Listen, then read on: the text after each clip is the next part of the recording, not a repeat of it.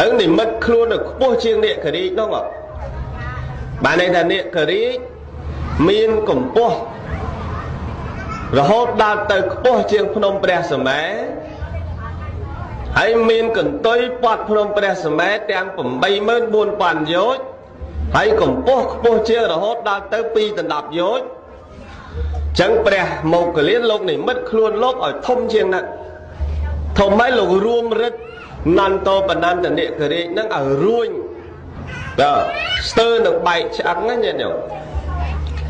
ចឹងហើយបាននន្តោបនន្តនិករាជគិតទៅសមណៈនេះសម្បើមឯងគិតតែគ្មាននរណាមានរិទ្ធដល់ឯងមកស្ដាច់នេះនេះប៉ុន្តែសមណៈនេះសម្បើមតលប្រើផ្សែងពឹសបានបច្ចេកផ្សែងតាមពពាទៅញោមតើបច្ចេកផ្សែងតាមពពាទៅ